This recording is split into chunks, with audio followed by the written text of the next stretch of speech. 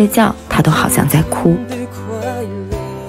之后的几天，银子就不愿意跟我们回房间睡觉了，而是躲在角落里偷偷伤心。你不真追着把我们妈了吗？你咋不跟我们上去呀？你可能想冷静会儿，让他冷静冷静，一人待会儿。还有一次，他居然躲到了他从来都不去的地下一层。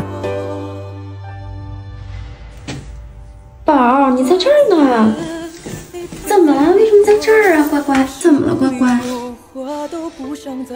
哦什么意思呀？想哥哥了是吗？